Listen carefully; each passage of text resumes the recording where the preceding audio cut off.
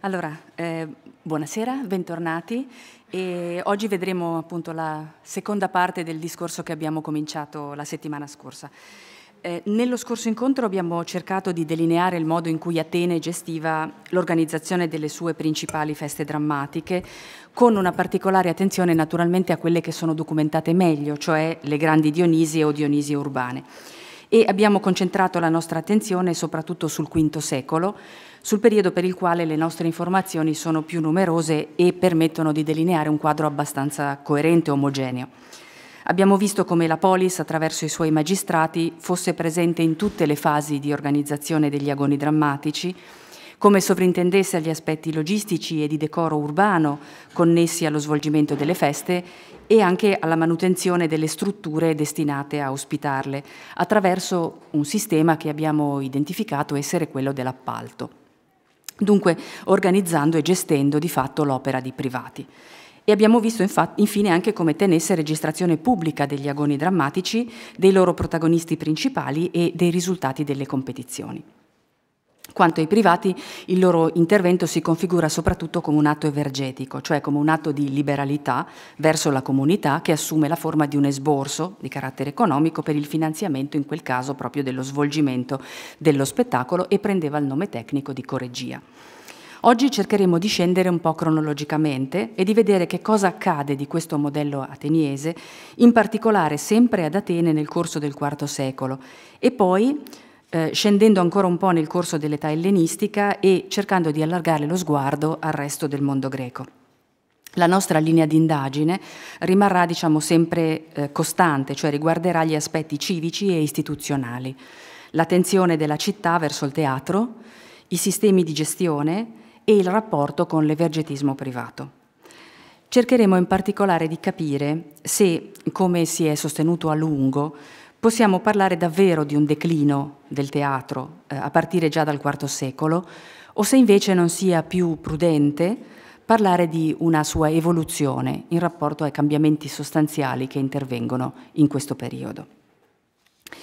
Allora, ehm, il IV secolo per tutto il mondo greco in generale e per Atene in particolare è un periodo di rivolgimenti profondi. Con la fine del V secolo, con la conclusione della guerra del Peloponneso, Atene ha perso il suo impero e anche se poi nel corso del secolo successivo viene costituita una seconda lega degli Oattica, questa lega nasce con caratteristiche diverse, volutamente diverse per evitare almeno teoricamente, gli errori del passato e non raggiunge mai lo splendore e l'ampiezza della prima. Il mondo greco vive una fase di egemonia di Sparta con l'appoggio della Persia, poi il protagonismo di Tebe con l'egemonia cosiddetta tebana e infine vede il progressivo affermarsi della potenza macedone sotto la guida determinata e capace eh, di Filippo II. Nel 338 le forze macedoni sconfiggono eh, le truppe alleate greche nella battaglia di Cheronea in Beozia, alle porte dell'Attica però, e inizia così eh, un'epoca nuova in cui le città greche devono fare i conti con un nuovo potere egemone, questo sì diverso rispetto al passato. Perché dopo la morte di Filippo nel 336 lo scettro passa al figlio, non senza traumi tra l'altro, Alessandro, la cui azione di conquista allarga eh, in modo inatteso e decisivo gli orizzonti politici ma anche culturali del mondo ellenico.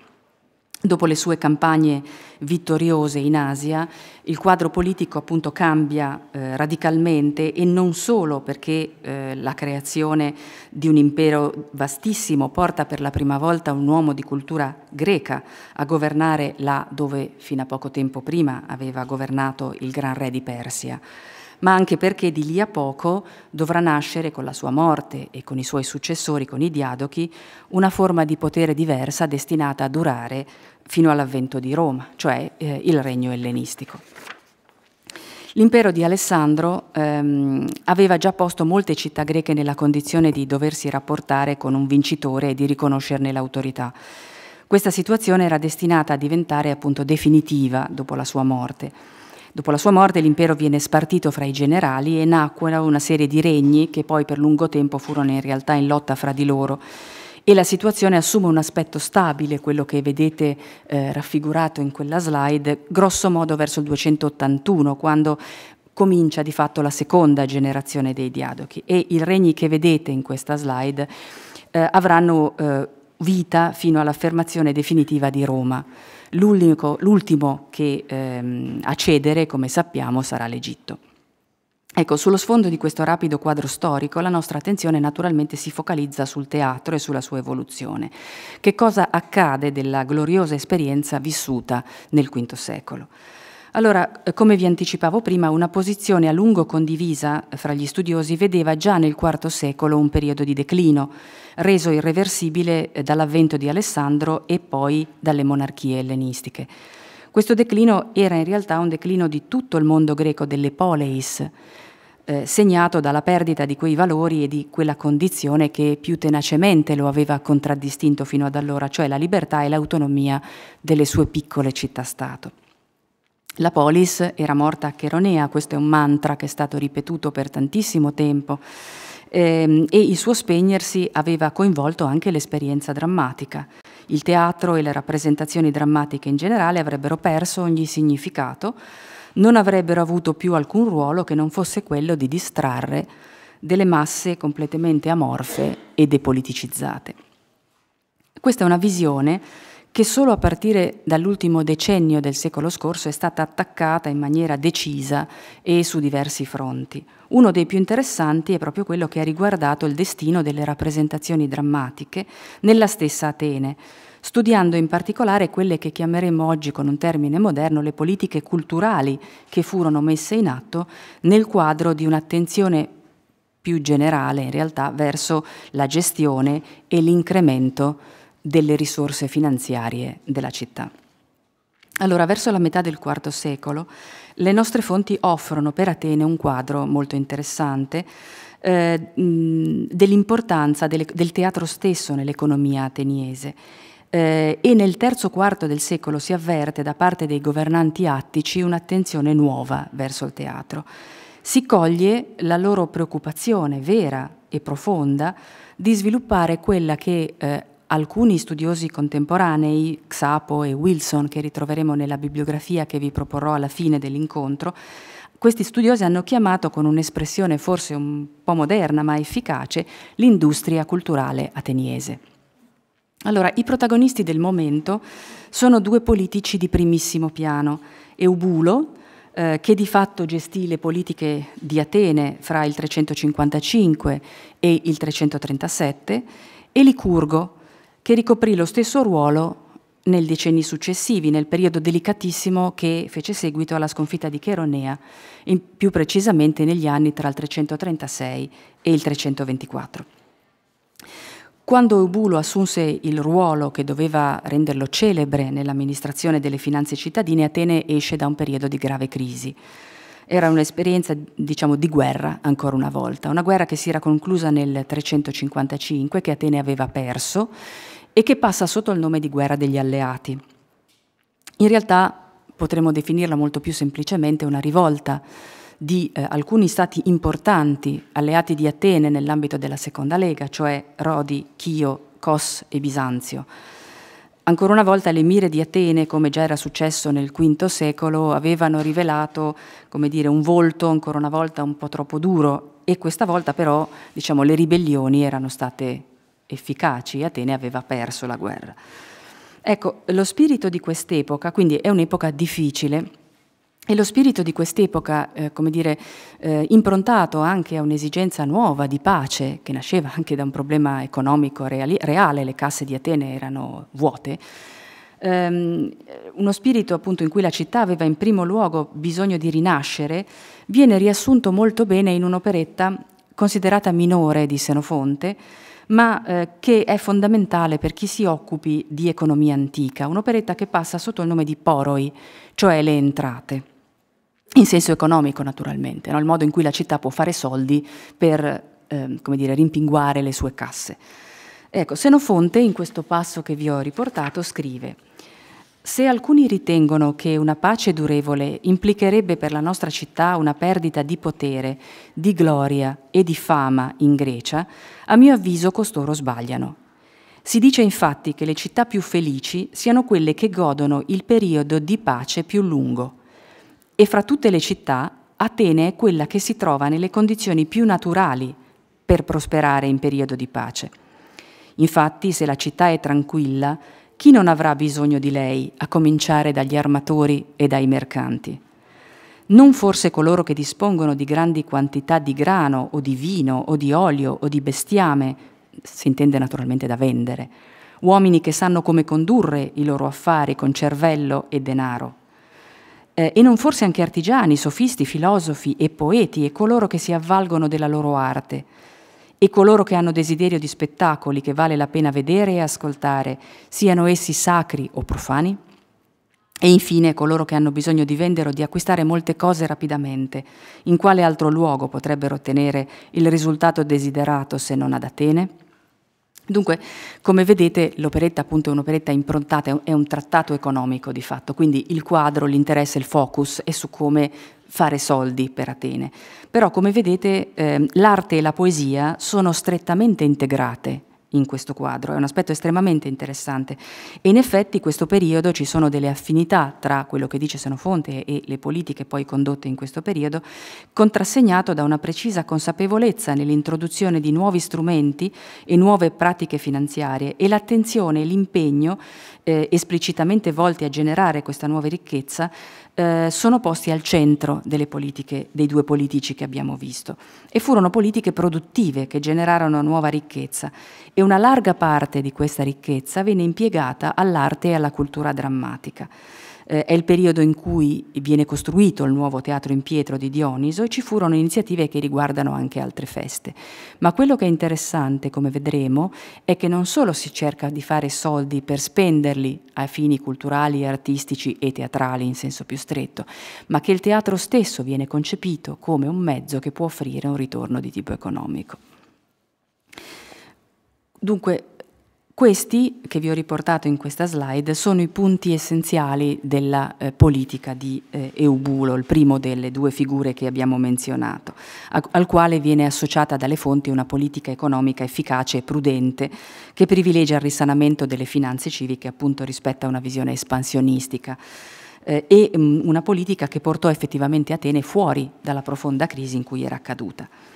Eh, I punti fondamentali li vedete sono questi e li vedremo poi uno per uno l'istituzione o il consolidamento del Fondo per gli spettacoli, il Teoricon, la monumentalizzazione del teatro di Dioniso,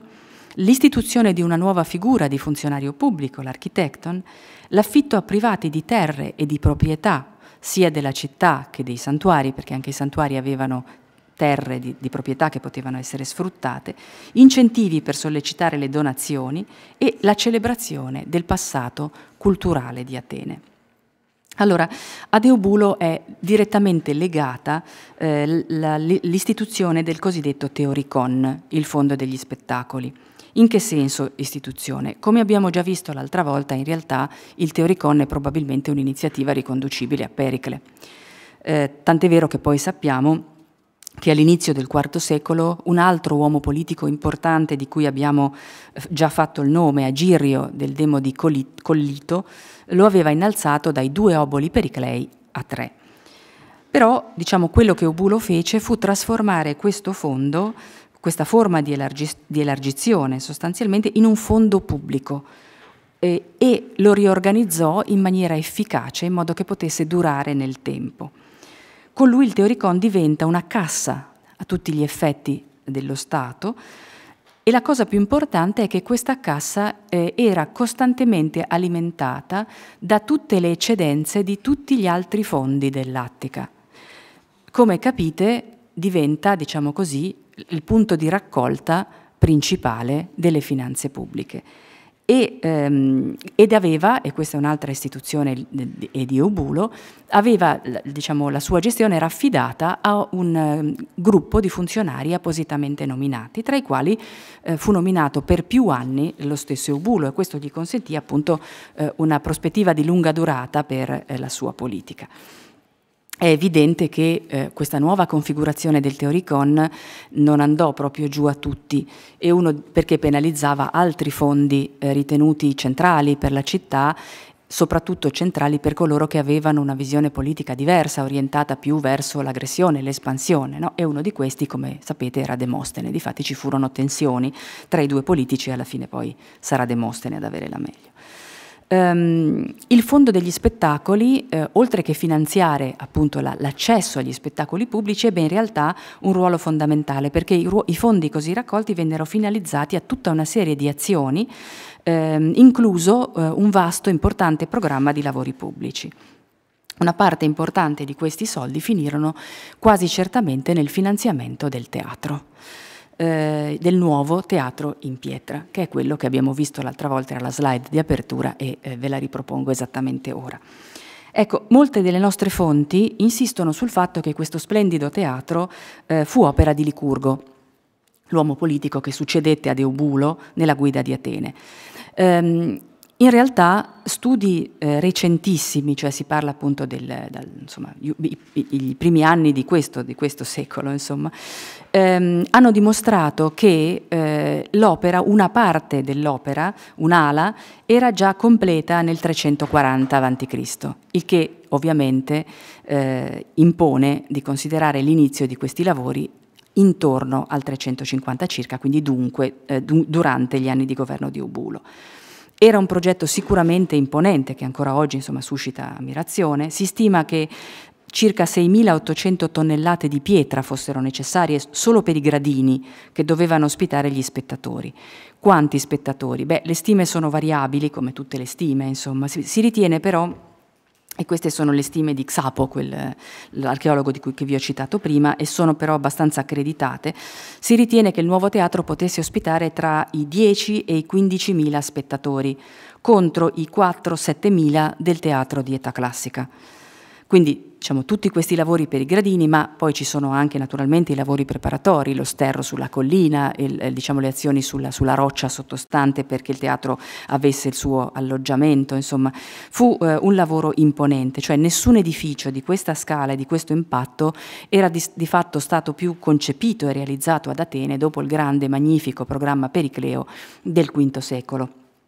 E come è stato efficacemente detto, si trattò anche probabilmente del primo tentativo di trasformare un edificio destinato all'intrattenimento, cioè un teatro, eh, in un monumento vero e proprio. Da notare che le circostanze in cui questo programma imponente fu messo in atto erano profondamente diverse da quelle in cui si trovava l'Atene di Pericle, in quel periodo Atene aveva goduto di una ricchezza e di una prosperità senza precedenti, eh, ora Atene stava uscendo da un periodo di crisi. E quindi ci possiamo legittimamente chiedere che cosa pensava Eubulo quando concepì questo programma. Ecco, quasi certamente non si trattava solo della volontà di abbellire la città, quanto piuttosto, come già era stato di fatto negli intenti anche di Pericle, mettere in moto la sua economia. Un'opera di questo genere necessita una quantità di manodopera eh, notevolissima, come possiamo appunto immaginare, come quindi attraverso la creazione di lavoro su larga scala. Però l'aspetto per noi più interessante è che Obul abbia scelto proprio il teatro per cominciare questo tipo di attività ed è evidente dunque che riteneva l'attività edilizia su questo edificio come sufficientemente promettente per il futuro da in, in, diciamo, in termini di investimento di immagine sicuramente, ma anche di ritorno economico, tale da giustificare eh, un investimento di questa portata. A questo periodo, e probabilmente in concomitanza con queste iniziative, risale anche un importante cambiamento istituzionale. Probabilmente nel 346 viene istituita, vi dicevo, la figura dell'architecton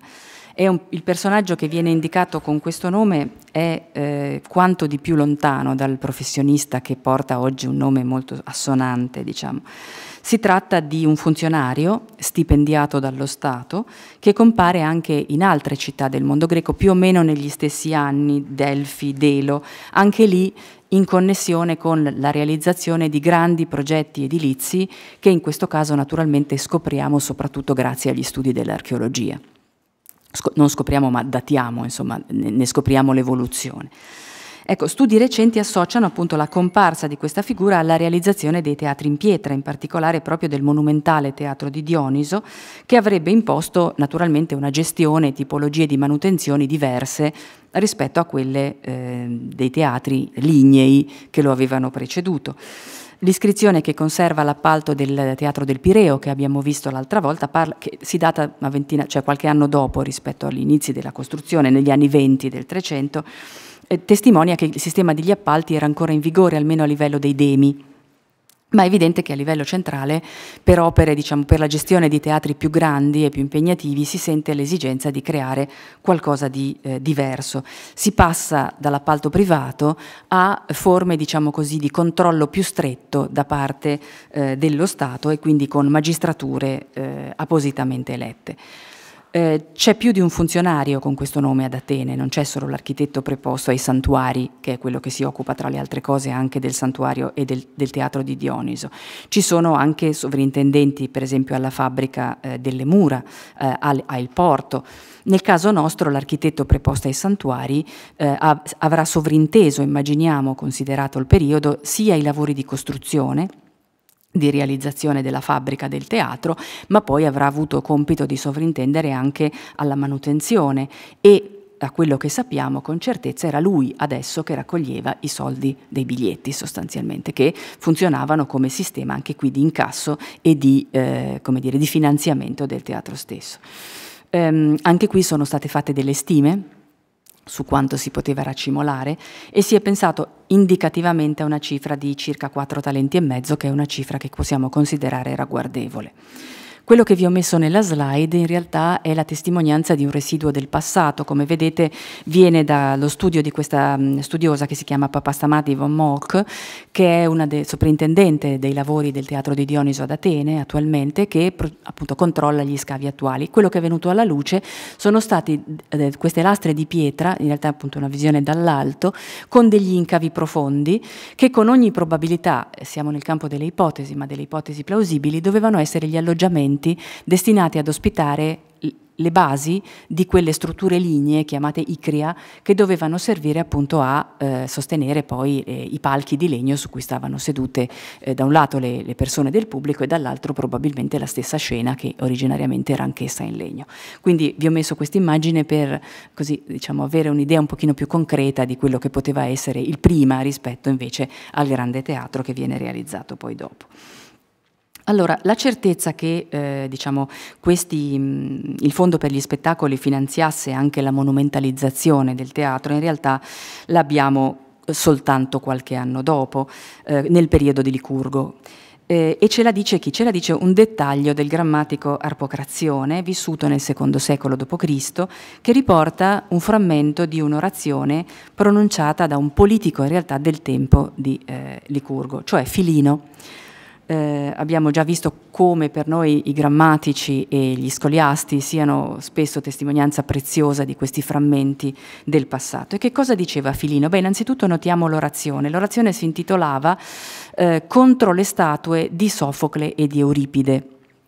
E cosa dice Filino? Dice Filino, riporta Apocrazione, nel discorso contro le statue di Sofocle e di Euripide, dice, parlando di Eubulo, venne chiamato fondo per gli spettacoli, Teoricon, perché Eubulo, quando ormai le Dionisi erano prossime, fece una distribuzione di denaro per i sacrifici, affinché tutti potessero prendere parte alle feste e nessun cittadino fosse privato degli spettacoli per mancanza di mezzi.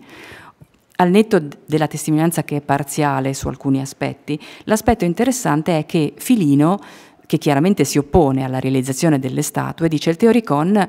non deve servire per la realizzazione delle statue, il Teoricon serve solo, per come l'ha voluto Eubulo, a finanziare coloro che partecipano eh, agli spettacoli, coloro che non potrebbero e così invece possono. È chiaro che eh, il discorso ha un senso se lo pensiamo in opposizione a un utilizzo diverso del teoricon che qualcuno voleva fare e questo qualcuno non può essere altro che eh, Licurgo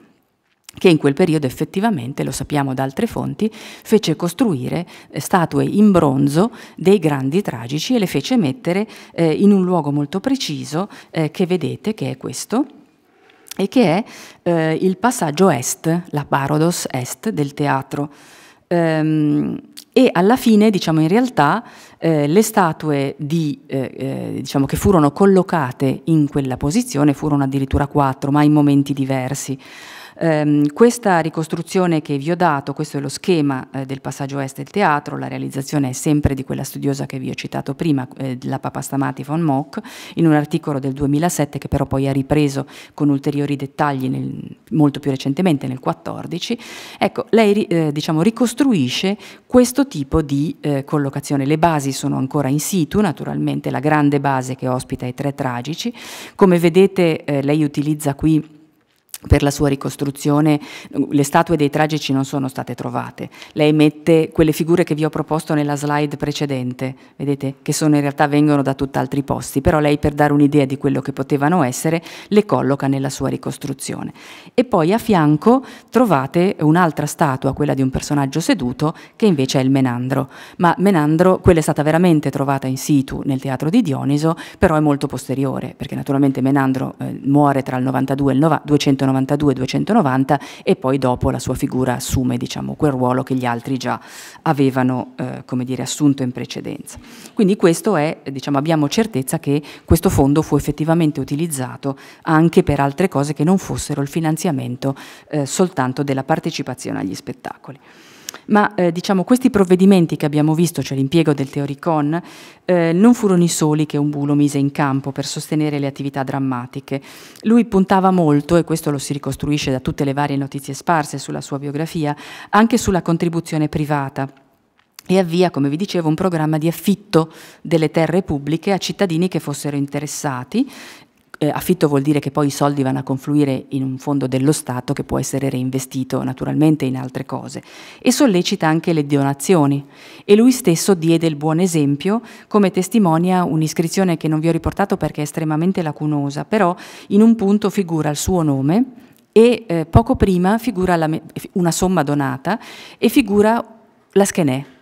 quindi è molto probabile che, siccome si tratta chiaramente di una lista di donatori, che lui stesso avesse dato il buon esempio contribuendo personalmente a qualcosa che singolarmente si associa ancora una volta eh, ad attività drammatiche. In questi stessi anni, e questa è un'altra immagine che avete già visto, eh, tra il 347 e il 343 vengono fatti scrivere i fasti,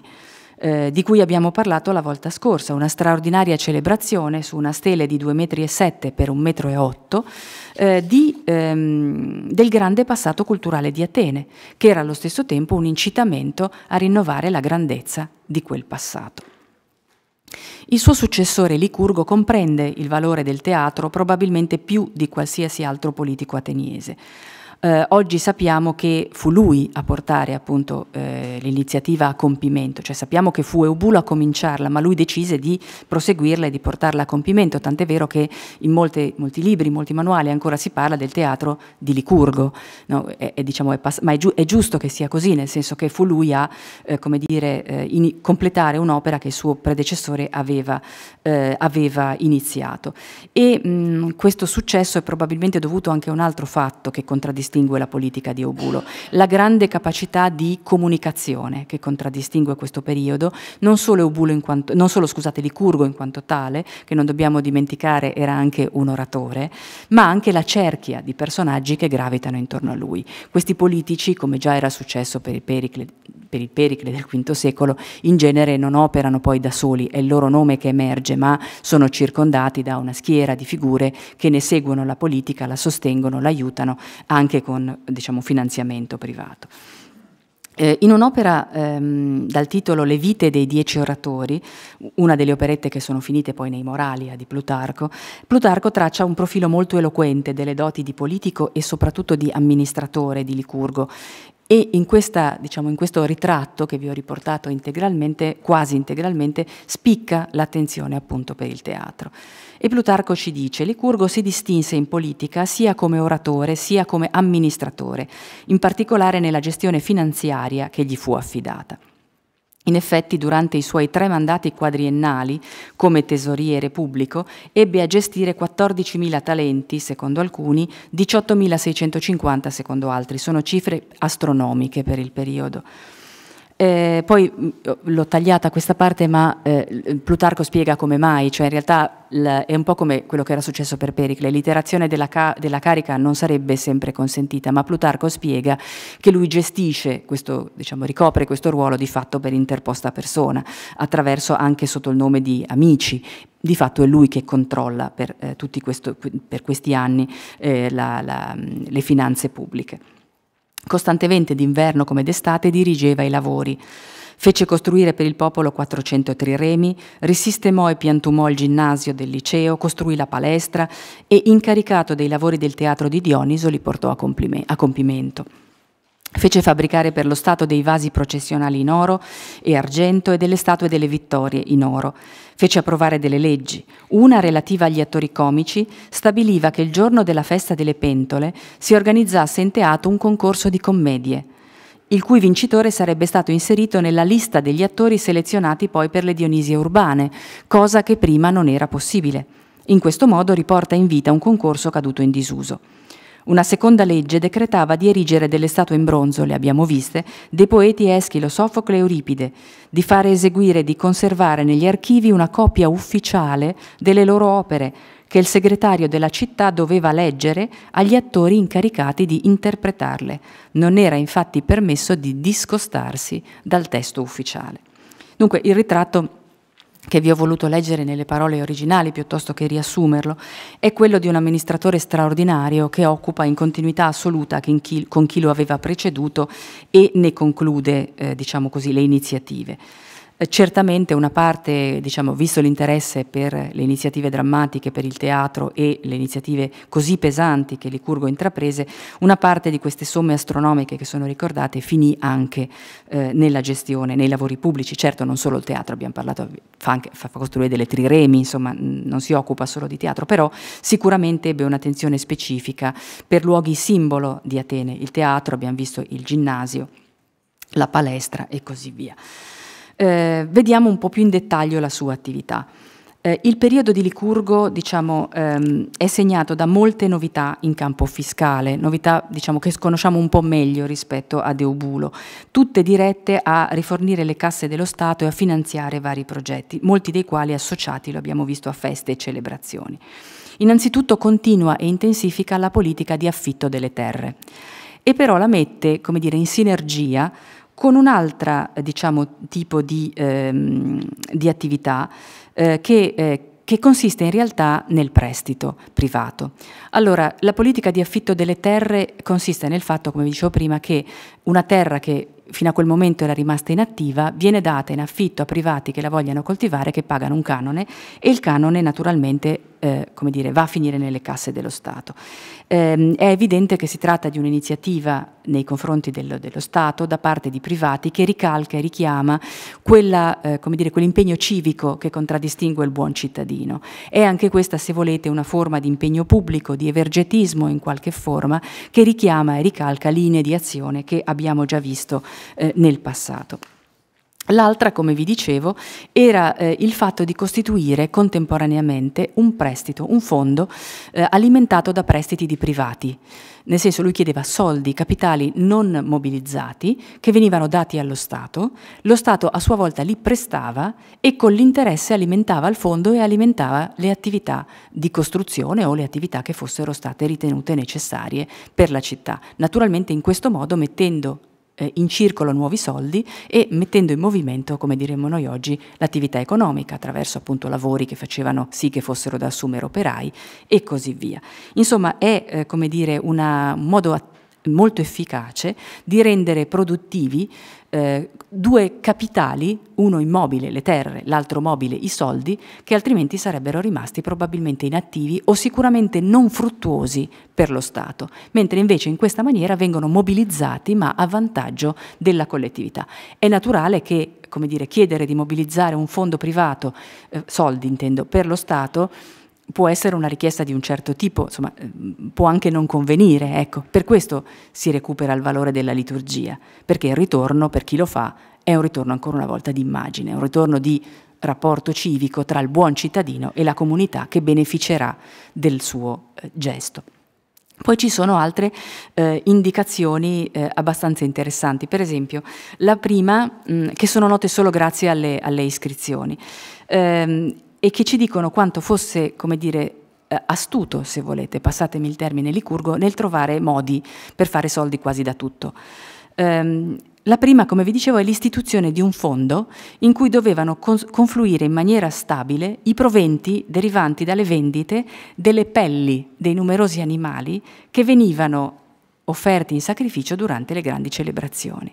E non a caso questo fondo prende il nome di Dermaticon, da derma, pelle. Ricorderete tutti che abbiamo visto la volta scorsa nel 330, che nel 333 qualcosa come 240 vittime furono come dire, offerte alla divinità in occasione delle grandi Dionisi. Ecco, queste pelli diciamo, non furono più lasciate alla libera disposizione, furono requisite dallo Stato e divennero, o meglio, diciamo, vennero vendute e quindi si trasse profitto anche eh, come dire, da qualcosa che eh, indubbiamente forse prima non era così vantaggioso. Ecco, il fatto stesso che le iscrizioni ce lo ricordino indica che è una novità e che è frutto di una visione lungimirante di questo mh, abilissimo politico. Eh, la seconda, anche questa è eh, una cosa nuova, eh, tant'è vero che è stata dire, definita in maniera un po' moderna, ma l'immagine è efficace, una specie di imposta di bollo. Per chiunque esercitasse una liturgia, veniva di fatto imposto, scusate, non una liturgia qualunque, una coregia, quindi diciamo qualcosa di legato al teatro, veniva imposto di dedicare eh, una fiale, cioè una di quelle coppe basse e larghe, del valore stabilito di 50 dracme alla divinità. Era un bene che poi passava automaticamente nelle casse statali. Quindi un altro modo per, eh, dire, eh, obbligare i privati a una contribuzione. Non è una cifra spaventosa, ma è sicuramente tenuto conto delle corregie che c'erano, delle feste che c'erano, è un altro ulteriore introito che entra nelle casse pubbliche. Non solo, ma eh, mobilitò i soldi degli amici. Noi sappiamo, sempre Plutarco ce lo dice, nelle vite dei dieci oratori, che un certo Deinias aveva donato quindi donato, il terreno su cui sarebbe stato poi costruito lo stadio panatenaico. Quindi non stiamo parlando di un campetto, stiamo parlando di uno stadio che ha determinate misure e che certamente avrebbe dato lustro alla città e lustro a colui che aveva regato, regalato il campo. E perché lo fa? Ce lo dice Plutarco, per fare un favore speciale a Licurgo. Quindi sono rapporti di amicizia che diventano immediatamente rapporti civici, messi a profitto a vantaggio dello Stato. Un altro sistema fu quello di eh, dire, suscitare una sorta di gara eh, nei confronti dei, dei, dei, privati, dei funzionari pubblici, generando l'aspettativa che i funzionari pubblici dovessero contribuire con i loro soldi eh, al, per il vantaggio pubblico. Infatti sappiamo che Demostene, che era stato a un certo periodo funzionario alle mura, durante il periodo di carica offrì una somma cospicua per eh, la città e per i suoi bisogni. E eh, questa cosa ritorna, eh, diciamo, non è soltanto una così, un'illazione, la troviamo di fatto eh, in qualche modo espressa direttamente dallo stesso Licurgo in una delle orazioni che ci sono rimaste, la contro Leocrate, che vi ho riportato, eh, qui alla mh, 139 seguenti, Licurgo scrive Alcuni di loro arriveranno a menzionare le liturgie che hanno prestato. Qui si parla chiaramente di cittadini che, eh, come dire, si sono, eh, eh, si sono resi benemeriti nei confronti dello Stato, intervenendo a suo favore in vari campi. Ecco, verso costoro, dice Licurgo, io mi sdegno in modo particolare. Infatti hanno prestato questi servizi al solo scopo di portare lustro alle loro famiglie e ora chiedono a voi un pubblico riconoscimento. Se uno si è accollato le spese per nutrire i cavalli, c'era anche una liturgia di questo tipo, cioè lo Stato disponeva di un certo, una certa quantità di cavalli pubblici destinati chiaramente a funzioni di parato o di guerra e anche questi andavano nutriti e una liturgia consisteva nel pagare il nutrimento e eh, come dire, anche la, come in generale la cura dei cavalli di Stato. O ha sostenuto splendidamente una correggia o altre liturgie costose, non per questo è degno di ricevere da voi un tale riconoscimento, dal momento che per questi gesti lui stesso ha già ricevuto ricevuto la corona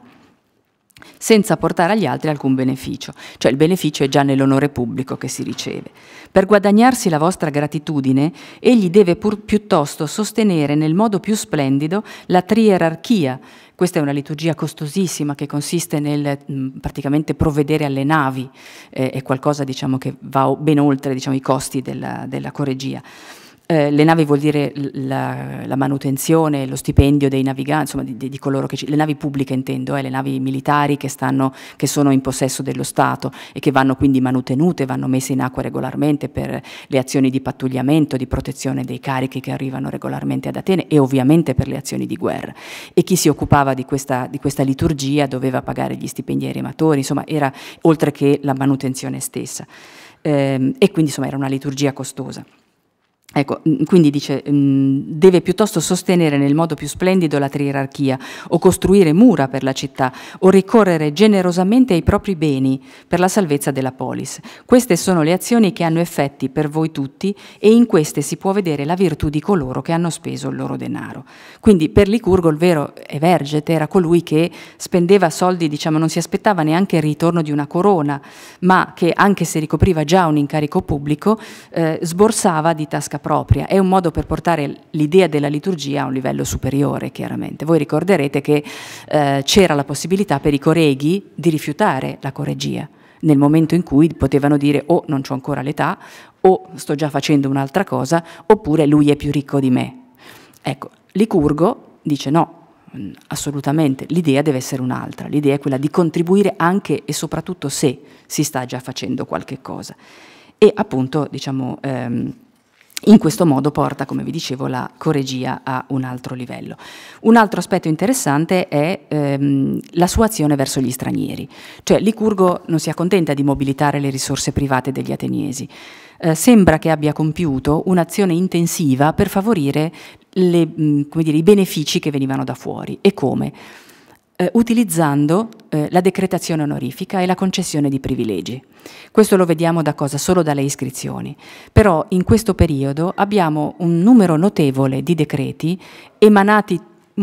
prevalentemente in occasione di quella famosa assemblea che si teneva nel teatro di Dioniso dopo le grandi Dionisie di cui abbiamo parlato l'altra volta, decreti nei quali vengono onorati in maniera cospicua cittadini stranieri e onorati come? Non con la semplice corona, che certamente è gradita, ma diciamo, ha, dire, si limita all'onore, vengono onorati con la concessione di privilegi che comportano dei vantaggi concreti, a partire da quelli più lievi, la proedria, l'ingresso gratis, i primi posti nei teatri, ma altri che invece sono molto più interessanti, come l'esenzione dalle imposte, cioè il fatto che non si pagano più la cosiddetta ateleia, non si pagano tasse per le merci che entrano e escono dal porto o la sicurezza personale che viene garantita. Insomma, benefici concreti che se noi pensiamo che chi frequentava Atene e il suo porto erano soprattutto mercanti, eh, potevano essere visti molto bene, potevano essere un incentivo eh, alla, ehm, alla, contribuzione eh, alle iniziative pubbliche di Atene. Eh, e poi due iniziative che abbiamo visto anche ehm, nel passo di Plutarco che abbiamo letto, iniziative che riguardano proprio direttamente e miratamente l'attività drammatica. La prima eh, è quella del passo di Plutarco che si riferisce a questa cerimonia delle pentole. Allora, questa era diciamo, una una cerimonia che eh, apparteneva a una festa ateniese di cui non abbiamo parlato, le antesterie, che si svolgevano circa un mese prima. Non ne abbiamo parlato perché non ci sono episodi drammatici, non c'erano almeno episodi drammatici. Ehm, Licurgo crea una nuova competizione comica, una gara di commedia. Eh, questo non solo documenta l'interesse diciamo, a eh, dire, favorire, a sostenere la commedia, non solo la tragedia, ma eh, da parte di Licurgo, ma in realtà ha un'implicazione ancora superiore. Perché? Perché lui offre come premio a chi avesse vinto questa competizione eh, la possibilità di entrare di diritto eh, alla competizione delle grandi Dionisie e quello era naturalmente un palcoscenico molto più interessante. Era l'incentivo che ci voleva per, cosa che prima non era possibile, abbiamo visto l'altra volta, la selezione veniva fatta appositamente, non c'erano preselezioni, non c'erano come dire eh, la possibilità di opzionare il posto eh, in precedenza. Questa iniziativa naturalmente rende molto più appetibili queste nuove feste comiche e ehm, è un incentivo forte a attori e poeti a eh, venire ad Atene a presentare le loro, eh, le loro, le loro opere e eh, a esibirsi rinvigorisce in maniera molto chiara, questo lo dice, è un commento che fa lo stesso Plutarco, una festa che stava cadendo in disuso. La seconda iniziativa è, ricordata in un passo diverso da Plutarco, l'istituzione di una gara di cori nel Demo del Pireo. Ancora una volta il Demo del Pireo ha un ruolo centrale nella, così, nella visione politica eh, dei, degli amministratori eh, ateniesi e ancora una volta abbiamo la prova dell'importanza eh, di, eh, di questo Demo nel quadro della città. E infine l'ultima iniziativa che abbiamo visto era quella di creare un canone definitivo e ufficiale dei poeti tragici. Eh, questa iniziativa si lega a un elemento nuovo e importante che vedremo più avanti, eh, vale a dire l'uso di mettere in scena, accanto ad opere originali create appositamente per le rappresentazioni, opere che noi definiremo dei classici. La domanda naturalmente è come dobbiamo intendere questa novità e come abbiamo, come immaginate, come abbiamo già visto, una risposta che è stata data per lungo tempo è quella che vedeva in queste decisioni la conferma del fatto che non si riuscivano più a creare delle opere dello stesso livello, della stessa qualità di quelle che erano state prodotte nel secolo precedente, quindi una prova della decadenza del teatro. Ecco, su questo che è un aspetto centrale per la comprensione del teatro ellenistico torneremo a breve. Quindi se dobbiamo dare una valutazione generale di quello che fu fatto ad Atene da, dai, dai, suoi politici più importanti sullo scorcio del IV secolo,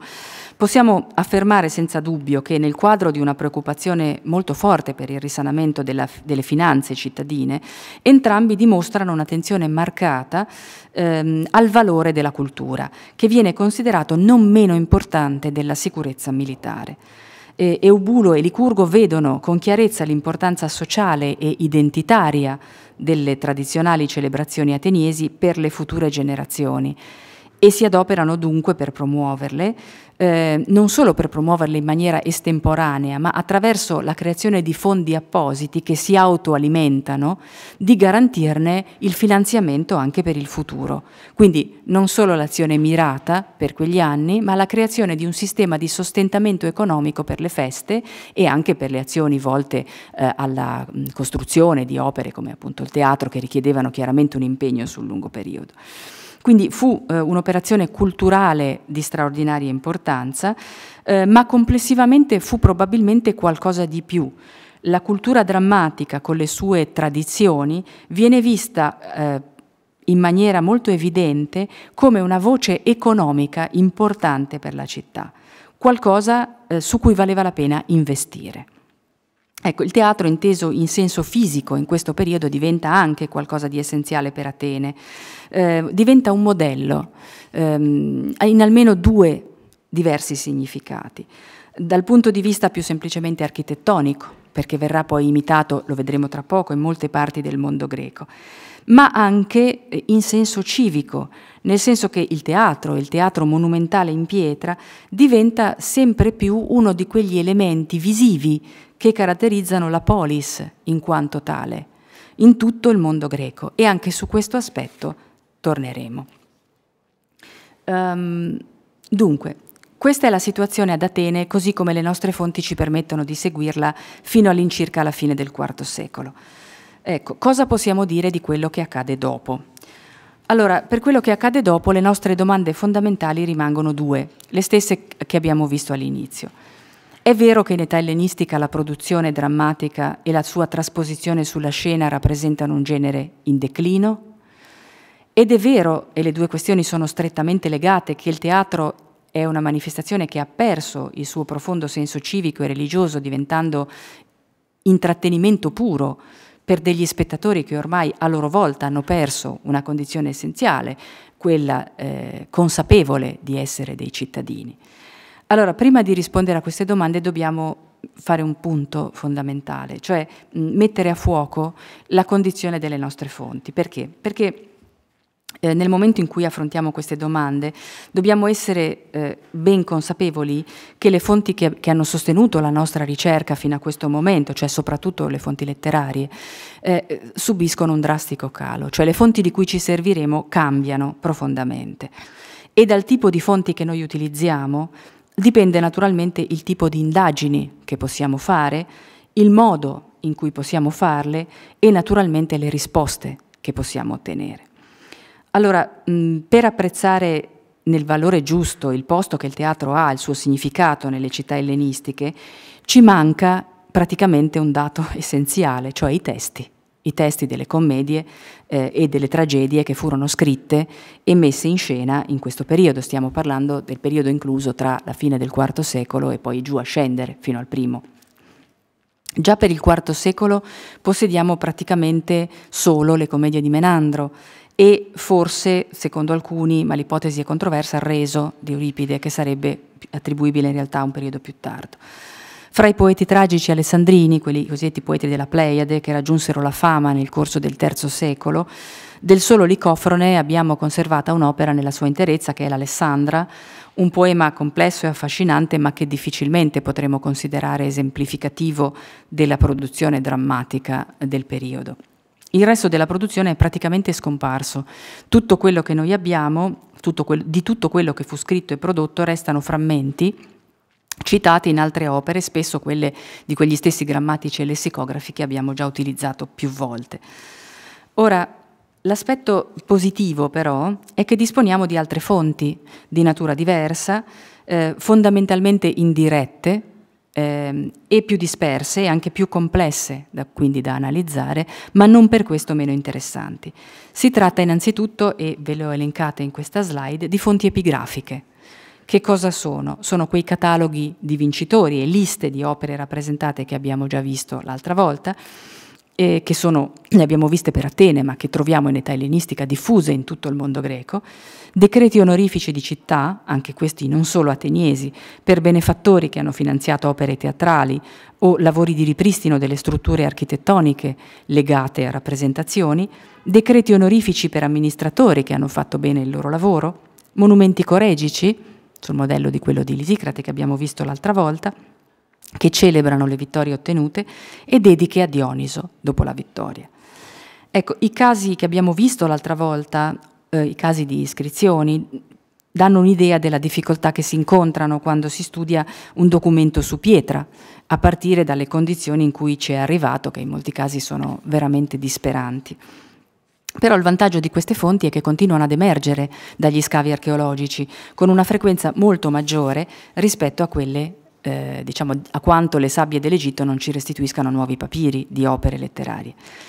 Ci sono poi le testimonianze archeologiche, cioè ciò che il mondo greco ci ha conservato dei teatri antichi, costruiti in età ellenistica, ormai in pietra e dunque sopravvissuti nei secoli. Eh, studiare queste strutture, la loro storia, la loro evoluzione ci offre indicazioni importanti sull'attitudine e l'interesse che le comunità che le hanno costruite avevano nei confronti del teatro. Eh, guardando alle nostre fonti per l'età ellenistica c'è un'ultima considerazione dobbiamo, di cui dobbiamo tenere conto, che è un elemento nuovo.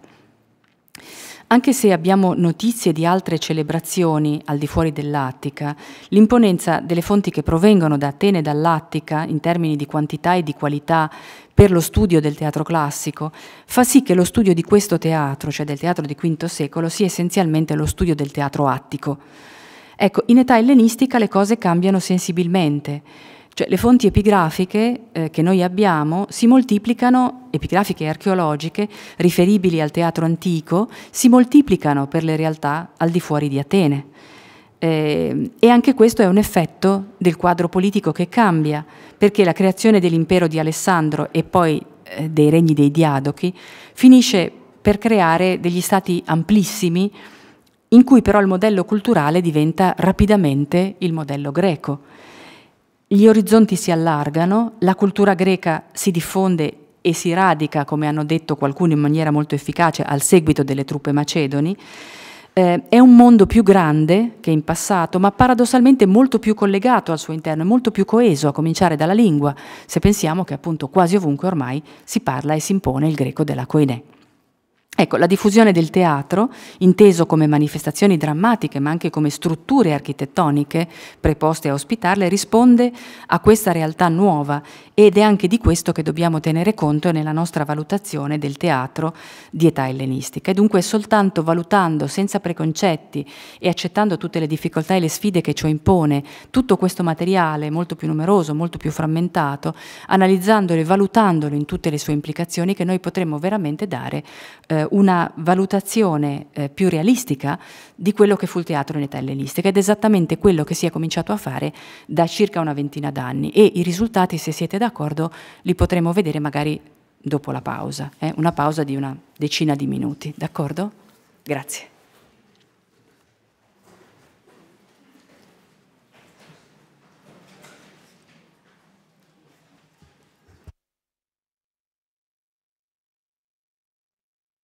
Allora, riprendiamo e eh, riprendiamo appunto dalla domanda che ci eravamo posti, no? come possiamo valutare la visione tradizionale che è stata data del teatro ellenistico e come la valutiamo? Beh, valutando i, i, singoli elementi che sono stati addotti per considerare, eh, il, um, per considerare diciamo, questa forma, per avvalorare quest'idea di una decadenza del teatro ellenistico. E uno degli elementi che più ha spinto a favore di una svalutazione della produzione teatrale di questo periodo da parte degli interpreti moderni è stato proprio il fatto che da un certo punto in poi ad Atene cominciano a, a essere messe in scena opere del passato. La ripresa nel IV secolo di queste opere eh, innalza, diremo oggi al rango di classici, i tre grandi autori tragici di V secolo, Eschilo, Sofocle, Euripide, poi dopo anche, diciamo, per i comici Menan eh, Aristofane e poi dopo Menandro che viene canonizzato un po' dopo. La scelta di riportare in scena drammi di un periodo precedente, dell'età classica, è stata interpretata come la prova che lo spirito creativo si era esaurito e che la qualità dei nuovi, o che la qualità dei nuovi prodotti era considerata insoddisfacente. In realtà questa visione può essere considerata quantomeno parziale. Eh, le iscrizioni, e non solo in Attica, ci conservano lunghe liste di autori di tragedie, di commedie e di drammi satireschi, a testimonianza del fatto che anche in età ellenistica si continuò a scrivere e a produrre eh, opere originali. Quindi il dato quantitativo in realtà rimane alto e eh, il fatto che questo dato sia alto non deve stupire, ha almeno due eh, spiegazioni, ripeto, non abbiamo opere, però abbiamo la loro traccia, cioè il fatto che si continuino a iscrivere i vincitori, i vincitori, eh, gli organizzatori, gli attori e così via. Il fatto appunto che queste, questo dato quantitativo sia alto non stupisce perché? Per, per, due motivi. La prima è che eh, le stesse fonti epigrafiche ci testimoniano che sia in Asia sia in Grecia continentale, in età ellenistica si moltiplicano le feste in onore di Dioniso, i Dionisia, che costituivano eh, altrettante occasioni eh, nelle quali i poeti contemporanei avrebbero potuto e dovuto rappresentare, mettere in scena opere nuove. Eh, in questa carta vedete i luoghi in cui nel periodo compreso tra il IV e il I secolo a.C. sono attestate delle feste dionisie, in occasione delle quali sappiamo per certo, dalla documentazione epigrafica, che avevano luogo dei concorsi drammatici. Sono città del mondo greco insulare, come Delo, Nasso, Paro, Amorgo, Kos o le più grandi Samo e Rodi, prospicenti le coste dell'Asia Minore, e anche grandi comunità d'Asia Minore come Priene, Mileto, Iasos o ancora, andando dall'altra parte, l'isola di Corcira nel mare Ionio. Ma dobbiamo, quindi, diciamo, questo è un elemento importante, ma dobbiamo tener conto di un secondo fatto, e questa appunto è la seconda spiegazione, che nel corso età dell'età ellenistica agoni drammatici, tragici e comici furono integrati anche in altre celebrazioni e feste che non erano esclusivamente quelle di Dioniso. In questa seconda slide voi vedete eh, alcuni casi. Per esempio, gli Eraia le feste in onore di Era, sia ad Argo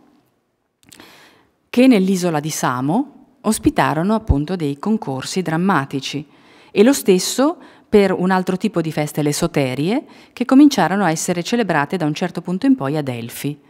E così per tutte le località che vedete riquadrate in azzurro sulla carta che vi ho mostrato, sia nella Grecia continentale insulare che in Asia Minore. Tenete conto che ci sono anche alcune comunità in realtà della zona, eh, dire, del, del Mar Nero che non ho potuto inserire perché non ho trovato una carta adeguata che avesse tutti i nomi che mi servivano, però ci sono delle comunità sulle coste del Mar Nero che celebrano feste con agoni. Ora, se alcune di queste feste ehm, autorizzarono e anzi promossero la ripresa e la riproposizione sulla scena di drammi antichi, sappiamo per certo che questi ultimi non sostituirono la messa in scena di opere nuove, appositamente create per le feste stesse. Alle Dionisie di Atene la prima rappresentazione fuori concorso di una tragedia antica risale al 386, quindi in data alta nel IV secolo, quella di una commedia antica al 339. Sono però per il momento episodi sporadici, la, la, ripresa di tragedie antiche diventa annuale dal 340 e le commedie un po' dopo, ma il dato interessante è che solo a partire dal 250 abbiamo la certezza che un concorso riservato all'esecuzione di drammi antichi si affianca in maniera stabile a quello di drammi nuovi, che comunque non cessa mai. In altre località del mondo greco, fra quelle che abbiamo visto sulla carta, le liste dei vincitori specificano se un attore, per esempio, ha vinto un dramma antico, in un, interpretando un dramma antico, o se un poeta ha vinto nella categoria dei drammi nuovi. E il fatto che si sentisse la necessità di aggiungere questa notazione fa capire che tutta questa tipologia di gare continua ad esistere e deve essere differenziata nel corso del tempo. E questo, questo dato la coesistenza e la notazione drammi antichi, drammi nuovi, eh, è attestata fino all'impero. Quindi diciamo, non, non, cessano mai di essere prodotte eh, opere originali specificamente per le varie competizioni. Quindi diciamo, questo dato cioè il fatto che fossero riportati sulla scena drammi antichi, non, riporta, no, non prova niente dal punto di vista de, della vena creativa di età ellenistica. Noi siamo assolutamente condizionati dalla perdita dei testi ed è a questo che adesso veniamo. Infatti il secondo, il secondo elemento che è stato addotto è, è proprio questo, cioè cosa possiamo dire della qualità. Um, una delle cose che eh, è stata, a, a, degli argomenti che è stato portato dai, fa, dai, fautori della decadenza del teatro in età ellenistica è proprio questo, che um, in realtà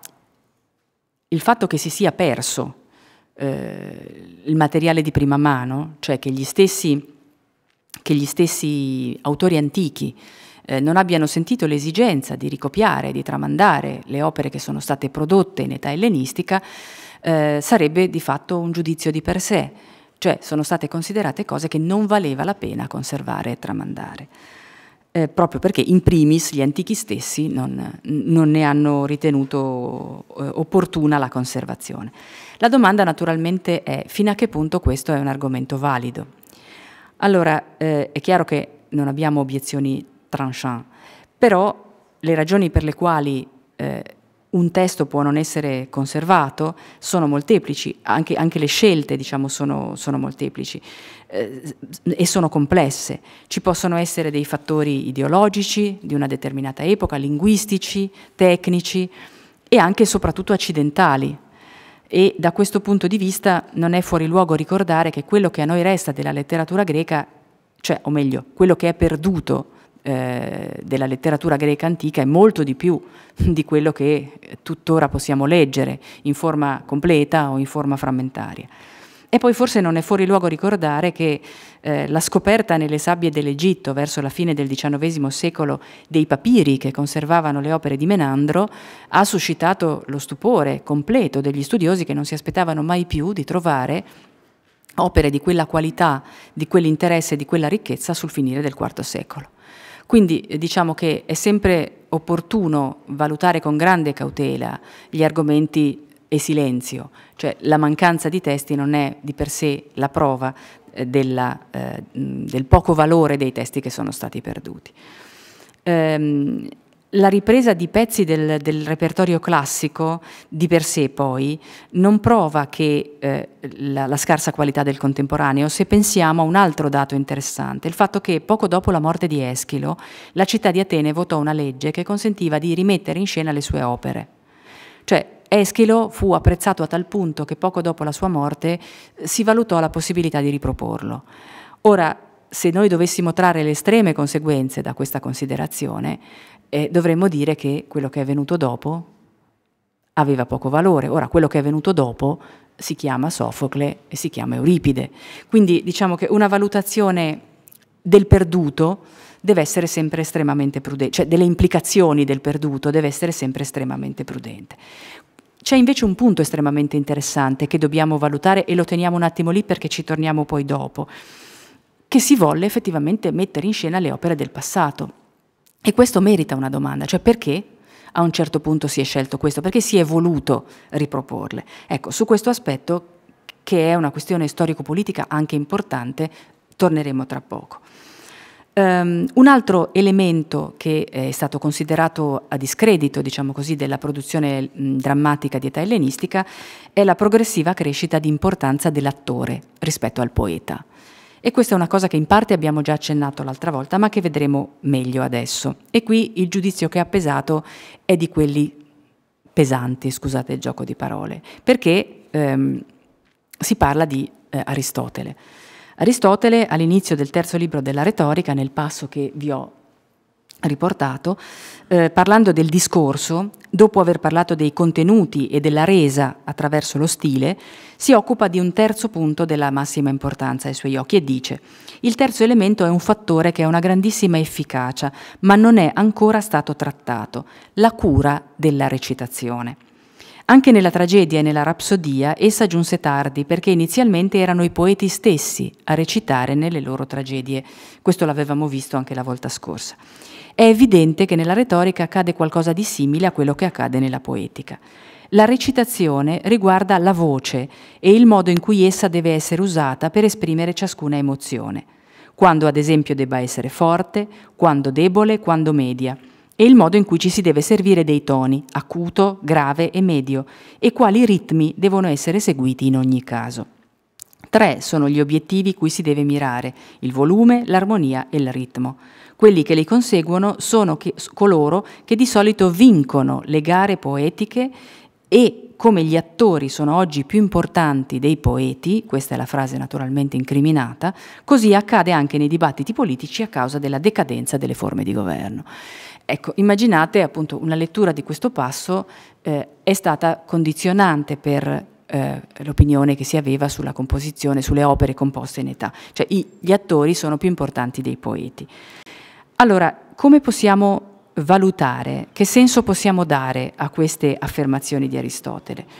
Allora, se lo guardiamo bene, con attenzione, questo passaggio in realtà non motiva il successo degli attori, cioè il loro ruolo preminente nel riportare la vittoria rispetto ai compositori, mettendo l'accento sulla povertà, sulla scarsa qualità delle opere di questi ultimi. L'accento è posto sulle qualità performative dell'attore, sulla forza e l'incidenza che con la, con la, loro voce gli attori possono dare alla resa di un'opera drammatica. In altri termini, potremmo dire, trasponendo il testo con un pochino di libertà, che la migliore opera drammatica può essere rovinata da un pessimo attore, da un attore che manca di quelle qualità espressive e vocali necessarie a tenere avvinto eh, il, il suo pubblico, a conquistarselo.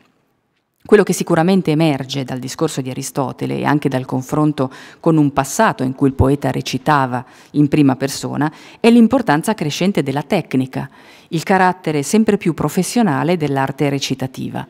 In altri termini, Aristotele non sta sminuendo l'arte del poeta, sta piuttosto dicendo che ai suoi tempi ormai essa ha un imprescindibile bisogno di essere valorizzata da un buon attore. In altre parole,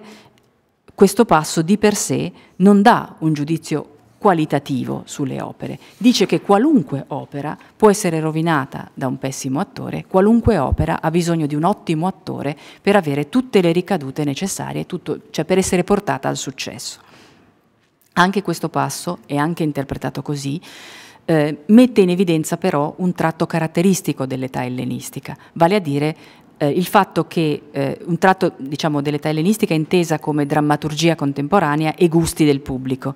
un tratto che trova riscontro eh, nella nascita e nella diffusione di attori professionisti e di compagnie di attori professionisti. Questo è un altro aspetto che dobbiamo tenere un attimo lì e su cui torneremo fra poco. Quindi la crescente popolarità degli attori non sminuisce in realtà il prestigio e l'importanza dei poeti. Se noi andiamo a vedere nelle nostre liste, che sono un po' ormai il nostro punto di riferimento, sempre frammentarie e quindi da maneggiare con cautela, noi però vediamo che continuano a comparire entrambe le categorie, entrambe le figure e non c'è nell'organizzazione formale di questi testi niente che faccia pensare che venisse stabilita una gerarchia tra attori e poeti. L'ordine della menzione, quindi prima gli attori o prima i poeti, può variare e spesso varia, non solo da una città all'altra, ma a volte non c'è neanche una precisa coerenza nelle liste di una singola città. E in ogni caso continuano a essere menzionati entrambi e previsti premi sia per gli uni che per gli altri. Alcune osservazioni possono essere fatte anche dal punto di vista proprio economico, cioè dei premi. Chi veniva pagato di più? Questa potrebbe essere anche una, dire, una cartina di tornasole. No? Ecco, purtroppo anche qui non è che abbiamo tutta questa statistica, però ci sono alcuni casi interessanti. Per, me, per esempio uno eh, che purtroppo appunto è abbastanza isolato, viene da Tanagra di Beozia, è tardo, siamo nell'80 a.C., quindi in qualche modo rappresentativo di una fase quasi finale della nostra parabola. Ecco, questo, questo testo, l'attore protagonista della tragedia antica che viene messa in scena, riceve un premio di 168 dracme, ma il poeta tragico che crea l'opera nuova vince due premi e riceve quantitativamente un premio superiore per un totale di 303 dracme. Dunque diciamo che anche da questo punto di vista sicuramente eh, il poeta non è penalizzato. E infine un dettaglio organizzativo, mini, minuto se volete, ma interessante. Um, quei rituali civici di cui abbiamo parlato l'altra volta, l'assegnazione delle corone, che come vedremo hanno una grande importanza nel rituale complessivo delle, del, degli agoni drammatici, continuano ad essere eh, attuati, la, il conferimento delle corone trova spazio prima delle tragedie nuove. Quindi diciamo, è quello il momento che viene considerato eh, centrale. Eh, è quello il momento in cui eh, si gratifica eh, chi ha fatto del bene alla città. Ehm, e dunque è evidente che anche agli occhi di un pubblico di un'età più tarda è quello il momento centrale nelle feste. Cosa possiamo concludere in merito all'ipotesi dunque di un calo della qualità? Che certamente intervennero dei cambiamenti nei gusti e nelle forme espressive, ma che forse, considerate le nostre fonti, sarebbe più prudente parlare di evoluzione e non di declino.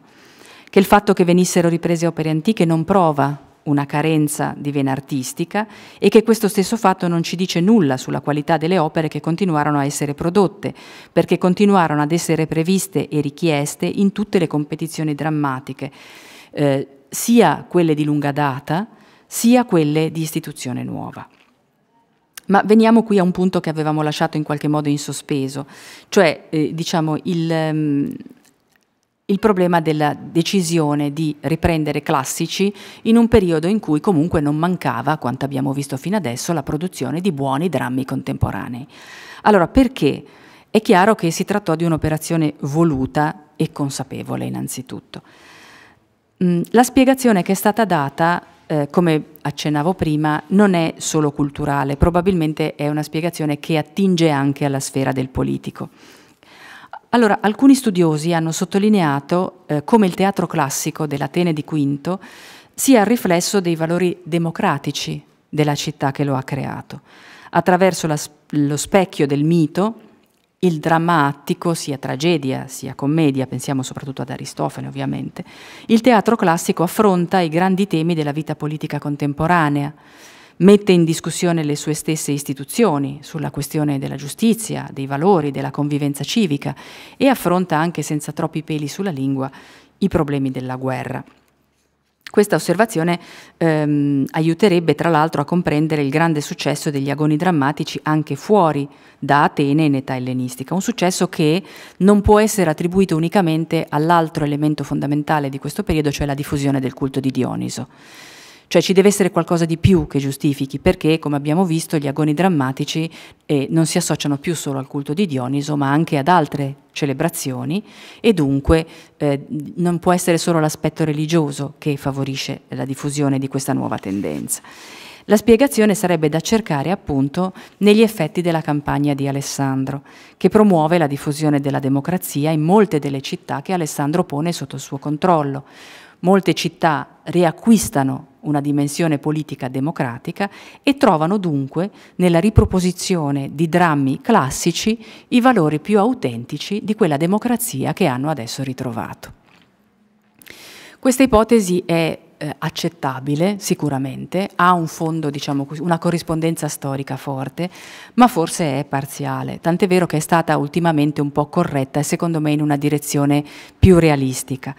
Eh, ultimamente ci sono stati molti studi che si sono interrogati sulla natura della democrazia greca, su quanto fosse realmente democratica la, la polis, su quali polis effettivamente avessero un regime democratico autentico e si è visto soprattutto che eh, la diffusione del teatro non riguarda soltanto città tradizionalmente democratiche, riguarda anche città che hanno regimi un po' più moderati, un po' più tendenti a forme eh, meno aperte. E allora la risposta che è stata data è eh, non di negare questo, ma di sfumare e di dire piuttosto, e credo che sia più realistica questa ipotesi, che il teatro classico si radica certo eh, nella, in Atene, nell'Atene democratica, ma si radica piuttosto nei valori della polis,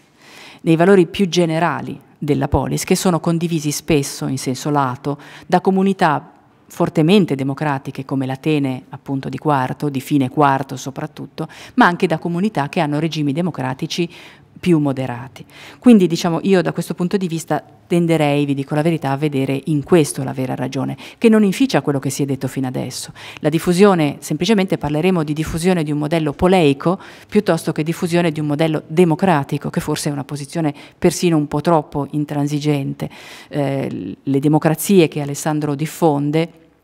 hanno dei tratti democratici sicuramente, ma fino a che punto la democratizzazione fosse radicale come ad Atene è molto difficile dirlo, mentre invece quello che è certo è che condividevano i valori civici che eh, dire, la democrazia ateniese aveva eh, coltivato e diffuso. Eh, gli studi degli storici hanno mostrato che in età ellenistica, e questo è l'altro grande tema, la città greca non muore affatto, la città greca a livelli diversi naturalmente a secondo della sua importanza e del suo peso politico continua a vivere nelle sue istituzioni, nei suoi contatti con i sovrani, nelle sue scelte di relazione con altre comunità, paradossalmente favorite da un mondo che assume adesso tratti più omogenei che in passato. Il modello civico viene favorito eh, da Alessandro e dai suoi successori e non dobbiamo dimenticare che molti sovrani a partire dallo stesso Alessandro, durante la sua spedizione di conquista, fondarono nuove città sul modello greco,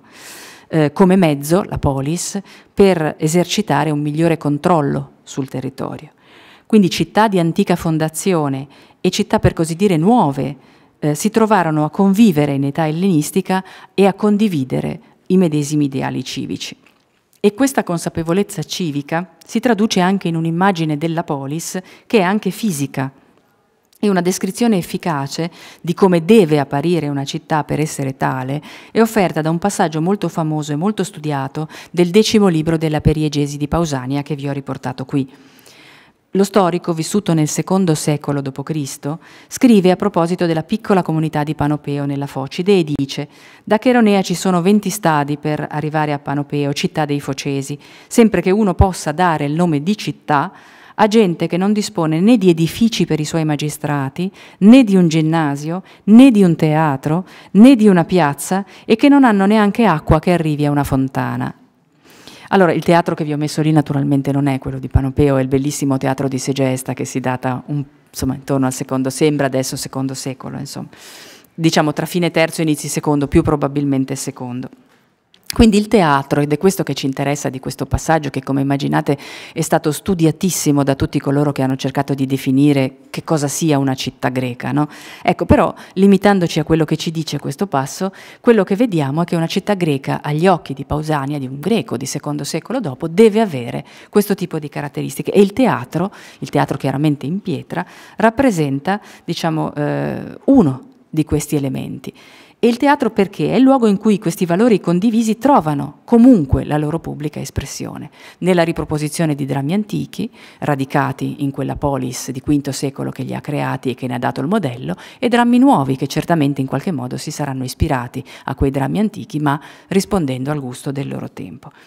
Quindi riportare sulla scena in un'epoca così lontana le opere dei grandi tragici e comici attici significa ricordare quei valori alla collettività, che ancora in essi vuole identificarsi. Certo non sarà stato così per tutte nello stesso modo, le città di antica fondazione avevano per così dire quelle, quei valori profondamente radicati nel loro passato, nella loro storia, nella loro cultura.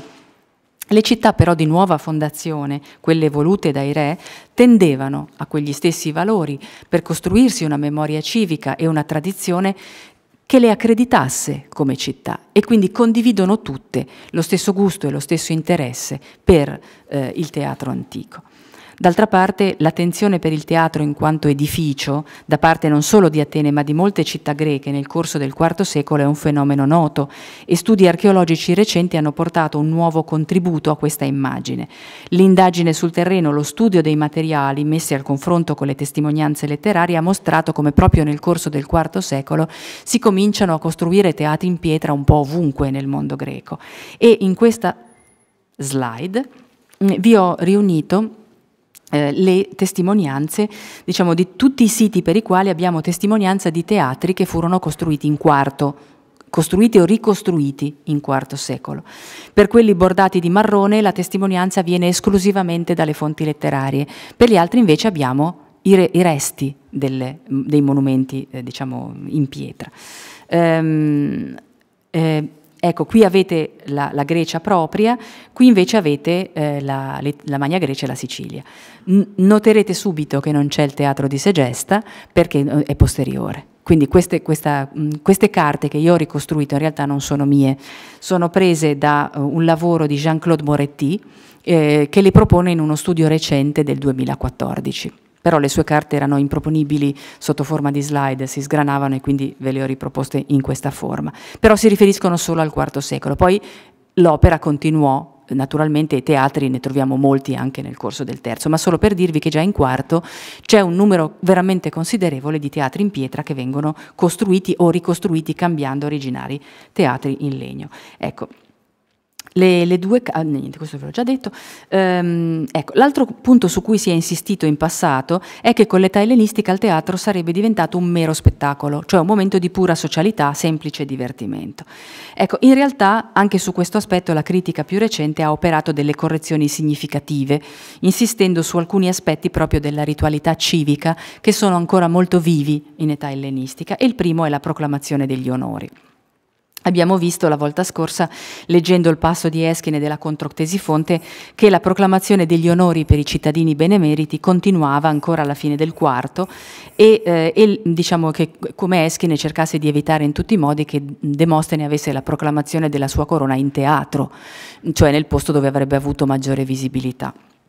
E qui abbiamo il perfetto controcanto di Demostene, che nell'orazione sulla corona, che risponde appunto all'orazione di Eschine, 120, si difende in quell'occasione e eh, in questo passaggio riassume magistralmente i valori civici che sono contenuti in questo gesto pubblico di incoronare alle Dionisie in un quel particolare momento i benefattori. D'altra parte scrive per quanto riguarda la proclamazione in teatro, lascio perdere il fatto che infinite volte un numero infinite di persone sono state oggetto di una proclamazione e anche io stesso lo sono stato in passato.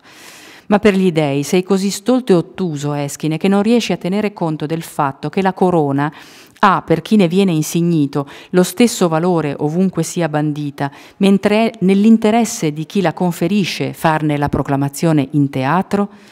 Tutti gli ascoltatori infatti sono spinti a offrire alla città dei benefici e lodano di più chi ha attribuito il riconoscimento, cioè la città stessa, piuttosto che chi ha ricevuto la corona. In altre parole, essere incoronati in quell'occasione è ancora un atto che offre più ritorno che non essere incoronati altrove.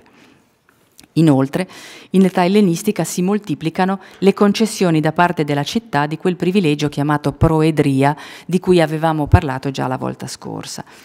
eh, parlando del Pireo naturalmente. Ecco, la proedria veniva concessa a cittadini benefattori e a stranieri e consentiva non solo l'accesso gratuito ma anche la possibilità per il beneficiario di sedere nelle prime file in una sezione apposita del teatro e in questo modo la città faceva conoscere a tutti la sua particolare considerazione verso quei personaggi. Quindi se vogliamo immaginare, qui vi ho riportato i seggi del teatro di Dioniso, ehm, se immaginiamo una scena di teatro, ecco, sedute nei posti d'onore c'erano le personalità cittadine o straniere che si trovavano a fianco a fianco con i sacerdoti principali della città. Questi non so se riuscite a vederlo, sono seggi per sacerdoti. L'ultimo è quello per il sacerdote di Teseo.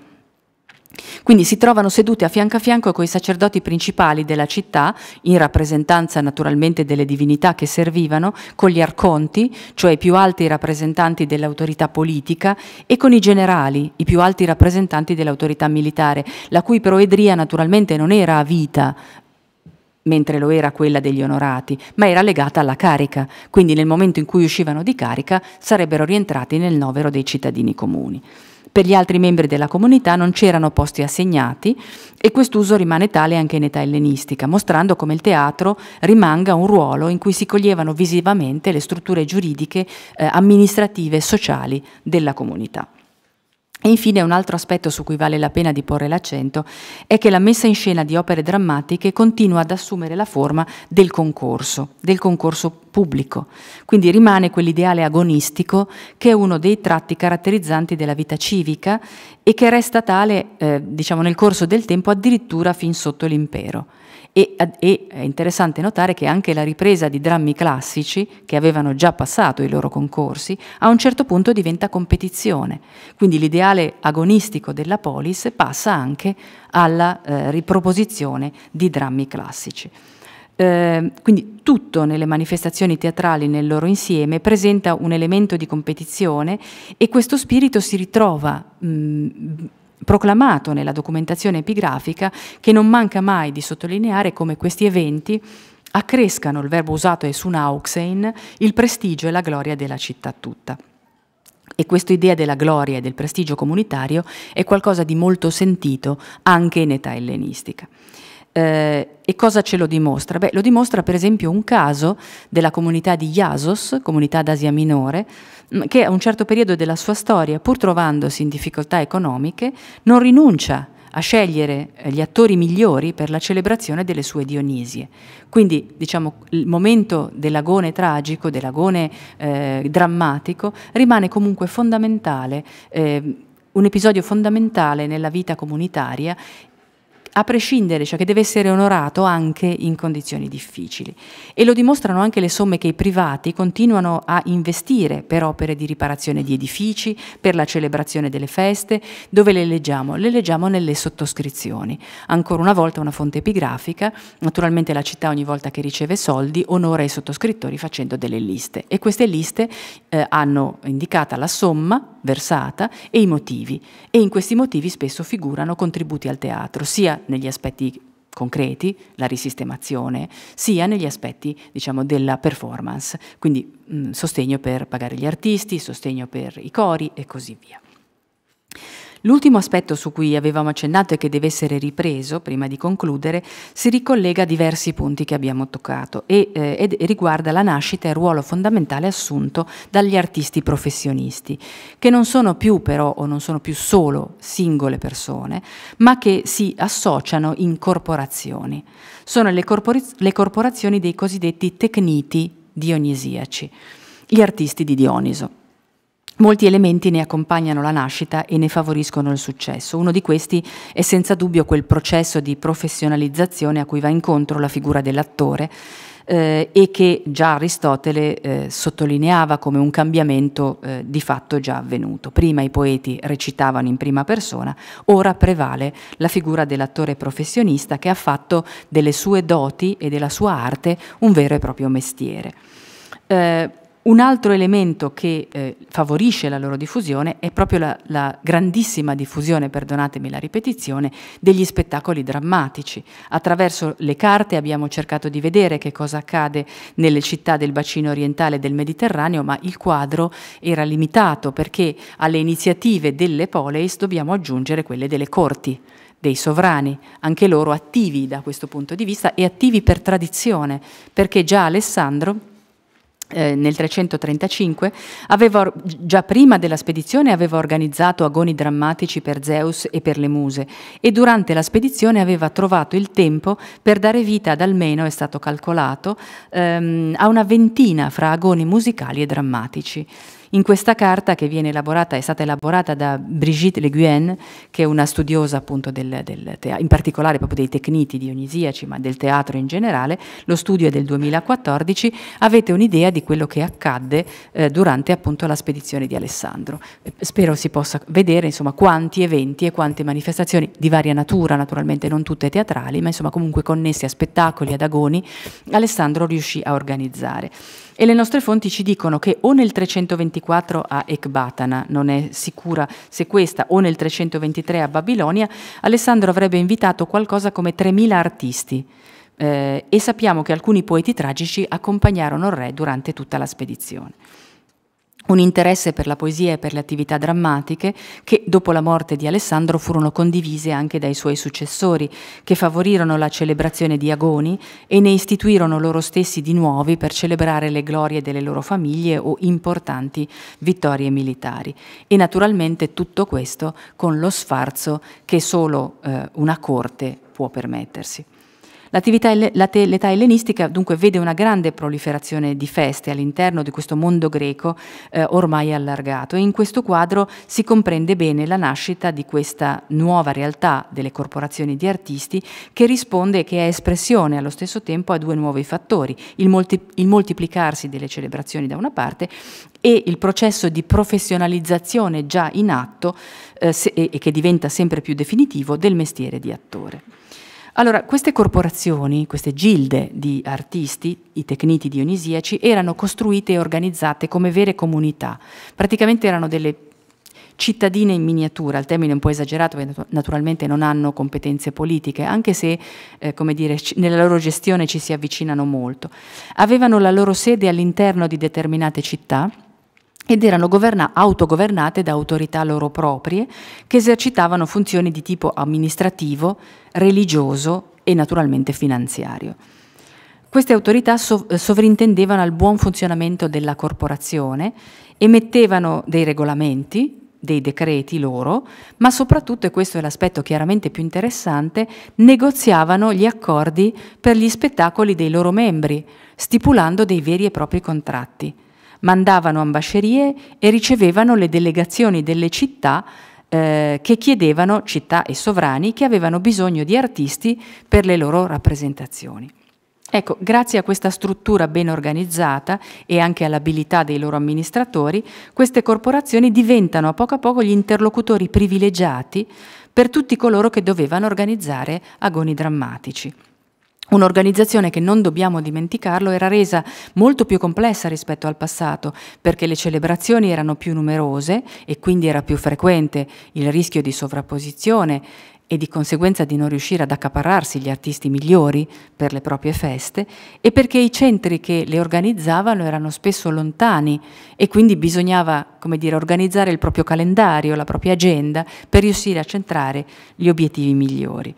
Quindi la mobilità degli artisti non era più sem così semplice come in passato e andava studiata con cura e le associazioni fornivano questo servizio che era naturalmente bifronte da un lato agli artisti a cui garantivano le, op le opzioni migliori per il loro curriculum, dall'altro alle città a cui garantivano gli artisti migliori per le loro performance. Ecco, queste corporazioni fanno la loro comparsa verso l'inizio del III secolo e si collocano sotto la protezione del dio Dioniso, ma a volte non solo, per esempio in Egitto viene concessa loro una protezione speciale anche da parte dei Tolemei, i faraoni locali, sovrani locali. E potevano aderire, questo è importante, alle corporazioni soltanto i professionisti dotati di specifiche abilità e qualità, quindi c'era una selezione per poter entrare nelle corporazioni. Nel Mediterraneo eh, orientale erano operative quattro corporazioni che vedete elencate lì. I Tecniti che facevano base ad Atene, forse è la più antica di queste compagnie, i Tecniti d'Egitto che avevano sede ad Alessandria fondamentalmente, con ramificazioni però anche nell'isola di Cipro, e che erano sotto la protezione di Dioniso e dei Tolemei e sono attivi diciamo fra la metà del secondo e l'inizio del primo secolo a.C. I Tecniti attivi nella zona dell'Istmo di Corinto, che avevano ramificazioni però ad Argo, a Sicione, nel Peloponneso e anche in alcune città della Beozia, tra cui Tebe e persino a Dione in Macedonia, quindi diciamo molto più a nord. E infine i Tecniti attivi nella Ionia e nella regione dell'Ellesponto, che veneravano Dioniso Categemon, il dio condottiero e travolgente e vittorioso, e l'epiteto è infatti attestato in un'iscrizione che li riguarda. Ecco, questi ultimi avevano due sedi principali, una a Teo, che vedete cerchiata qui, e l'altra a Pergamo, sede della corte degli Attalidi. E eh, nella capitale, appunto, de degli Attalidi, proprio qui dove, come ben sapete, venne realizzato l'altare di Pergamo, di cui vedete qui una ricostruzione naturalmente, ecco, sul monumento simbolo della città, in una posizione preminente, cioè vedete su, sulla, sul lato diciamo, frontale a destra, eh, vedete la, sul fronte dell'avancorpo ovest, per essere più precisi, ecco, c'era questa rappresentazione del dio Dioniso in questa veste di condottiero vittorioso che è appunto il Dioniso Categemon, il Dioniso condottiero eh, trionfante. Ora, le nostre fonti mostrano chiaramente che queste corporazioni prendevano il loro nome dall'area geografica in cui avevano le loro sedi, quindi cambia anche questo, cioè l'attore non si lega più eh, diciamo, al luogo di provenienza, il luogo di provenienza degli artisti conta meno in questa fase rispetto alla filiazione eh, a una corporazione importante. Eh, e infatti tutte le corporazioni ammettevano artisti da qualunque parte del mondo greco e allo stesso modo il loro raggio d'azione non era geograficamente limitato, potevano accettare di esibirsi in tutto il mondo greco.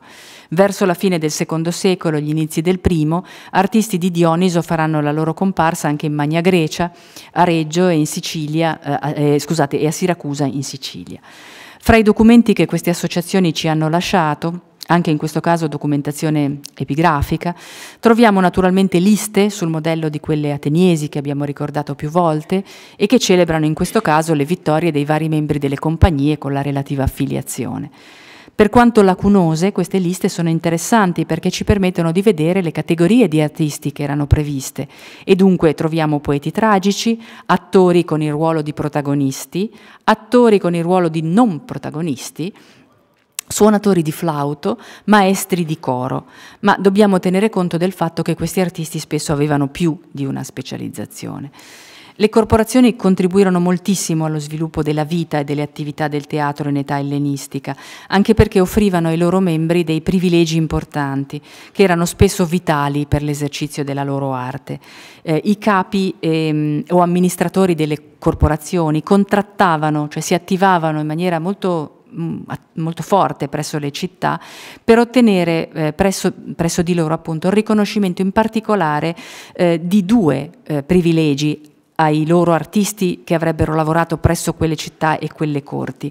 Eh, sono quegli stessi privilegi che un tempo venivano concessi singolarmente ai vari artisti e che però sono vitali per la loro mobilità. E quali sono? La sfaleia, la sicurezza personale, cioè la garanzia di intangibilità, nel senso non possono essere toccati, e la zulia, l'inviolabilità dei beni oltre che della persona. Ecco, grazie a questi privilegi che vengono, è importante ricordarlo perché ci dà la misura del potere di queste corporazioni, sono le corporazioni che li contrattano questi privilegi che sono concessi ai loro artisti tout court in generale, quindi il peso di queste corporazioni nel contrattare con le città.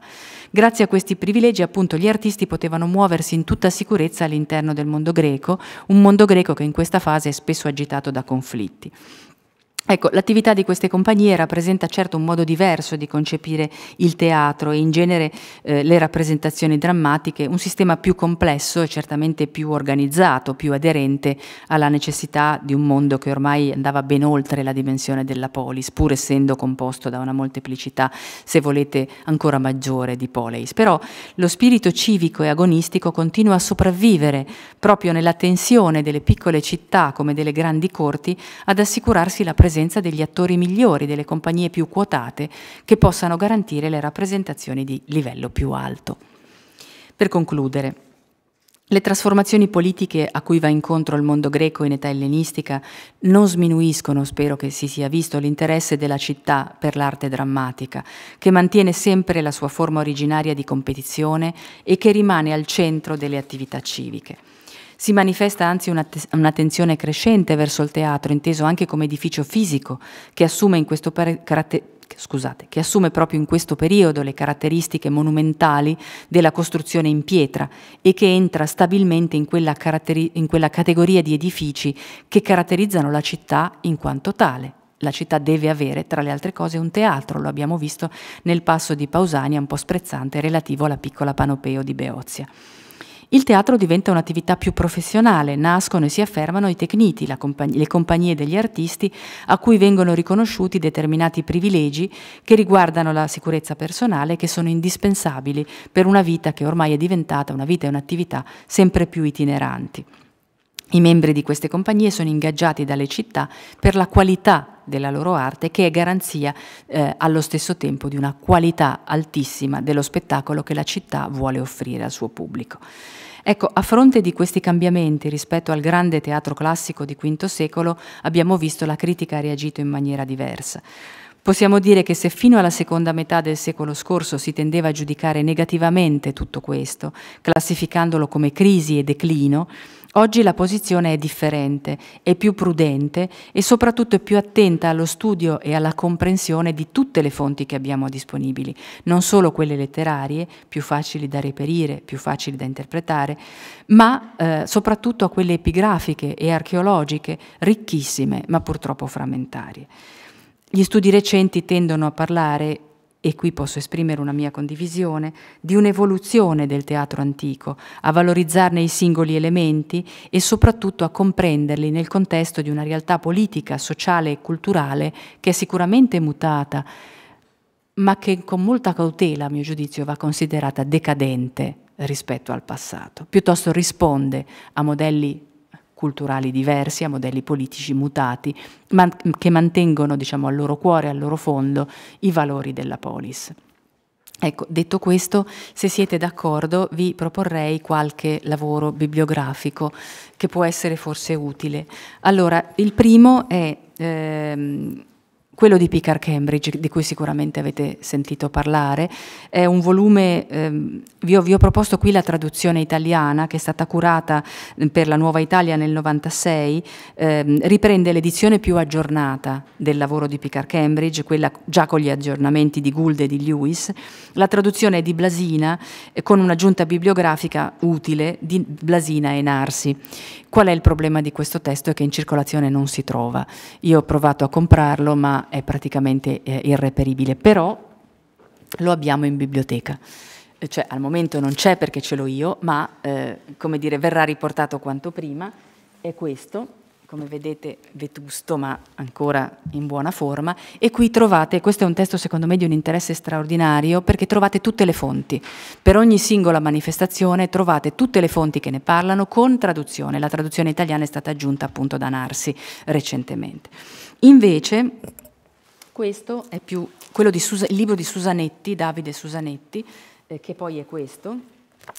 questo qui, è, è stato curato, diciamo, è, è più recente, l'ultima edizione eh, è del 18, credo sia in realtà eh, una, una, ristampa, non mi pare ci fossero aggiornamenti, comunque è la prima edizione Carocci, ma c'erano state delle edizioni precedenti presso, ehm, presso altre case editrici. Ecco, questo è molto utile perché conserva all'inizio una parte diciamo generale che riguarda appunto il teatro, anche dagli, dal punto di vista proprio dell'organizzazione eh, civica di cui abbiamo parlato e poi naturalmente il grosso, cioè la prima parte sono una quarantina di pagine grosso modo. Poi comincia diciamo, lo spettacolo tragico e i capitoli successivi da pagina 47 in poi eh, sono dedicati chiaramente agli aspetti più letterari, però eh, diciamo, c'è un'ampia un discussione de, dei miti, delle storie, delle opere dei singoli compositori, insomma secondo me è un'opera di, di utilità. E poi vi ho segnalato in fondo naturalmente la cosa interessante è che essendo recente in fondo trovate una buona bibliografia, eh, soprattutto volta naturalmente siccome Carocci è orientata molto al pubblico italiano, anche al pubblico universitario ma anche scolastico in, in, più in generale, eh, trovate appunto un'attenzione particolare per la bibliografia in lingua italiana. Ehm, poi ecco, volevo segnalarvi due studi classici, ma comunque molto, molto, utili, diciamo, i cui autori sono una garanzia di per sé, cioè Vincenzo Di Benedetto e Enrico Medda, la tragedia sulla scena, e poi eh, il saggio di Enrico Rossi che trovate nella, in quei volumi curati da Setis, eh, I greci, storia, cultura e società. Eh, anche questi, ecco, diciamo, questi eh, risentono ancora un pochino delle visioni tradizionali, ma essendo scritti, eh, come dire, da persone di grandissima qualità, sono sempre molto, molto temperati, molto cauti nella valutazione, molto, molto prudenti e oggettivi.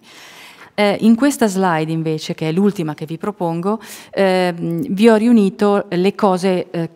che ho utilizzato soprattutto per la parte eh, ellenistica. Come vedete sono tutte opere abbastanza recenti, sono tutti, i primi due in particolare, quelli di Xapo e, e di mm, Liapis, sono, sono eh, volumi miscellanei, quindi che raccolgono sotto un titolo generale poi singoli studi mirati. E, eh, invece l'ultimo è quello da cui ho preso eh, le fotografie delle liste, dei fasti, delle didascalie e delle liste dei vincitori. Ed è la summa summarum del lavoro fatto appunto da, eh, mh, nella fattispecie per, per, le, per le, liste, eh, del, del, lavoro fatto da quell'equipe che si occupa di studiare i nuovi testi, ehm, i, scusate non i nuovi testi, i frammenti dei testi del, dei fasti e delle didascalie integrati con i, nuovi, con i nuovi ritrovamenti. Tutti questi, come vi dicevo, sono disponibili in formato PDF. Eh, detto questo, diciamo, io vi ringrazio e spero insomma, che sia stato utile.